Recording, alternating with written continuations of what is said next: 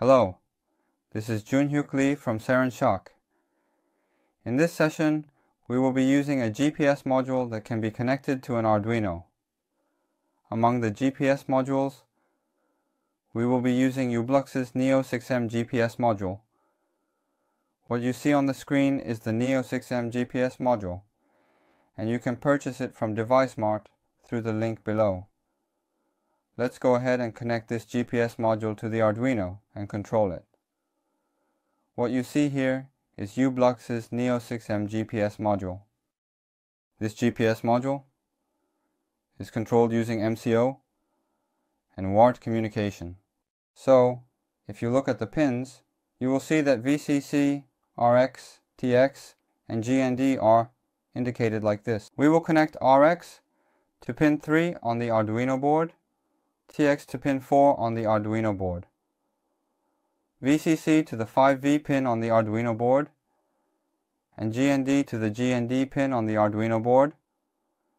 We will use male-female jumper wires to make the necessary connections between the components. First, connect VCC to the 5V pin on the Arduino board, then RX to pin 3 on the Arduino board, and finally TX to pin 4 on the Arduino board. Additionally, ensure that all connections are secure and double check each connection to avoid any potential issues during operation.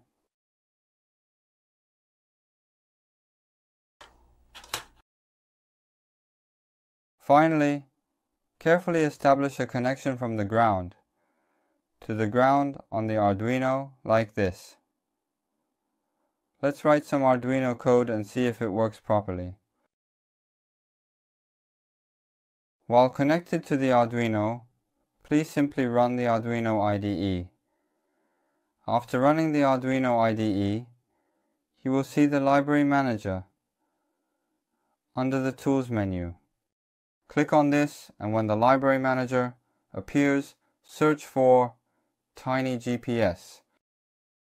Then, one rival will appear in the search results. Click on it. To install, once you click, it will be installed. Then close it and next, in the file, there is an example for TinyGPS. To the file for better understanding and clarity, please click on Simple Test here. Instead of just running it as is, we will make some modifications. First, simply copy the entire content and then paste it here. Close this and then what we connected earlier was the TX and RX to the pin numbers specified in the code, which are 4 and 3. The serial dot begin part is the baud rate speed for UART communication between the computer and the Arduino. The software serial communication speed is set to 4800 but the default baud rate speed is 9600. Please change it to 9600. Next, in the pool, I have the board and Arduino set up correctly and securely, and I will try uploading it to the board.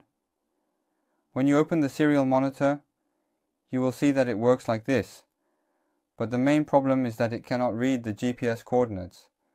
This is mainly because the environment I am testing in is indoors, and you cannot receive GPS signals indoors at all. I will go outside and try to run it there. When you run it outside, you can clearly see the latitude and longitude displayed at the beginning. This time, we have successfully controlled the GPS module. I will introduce another interesting product next time. See you then, and take care.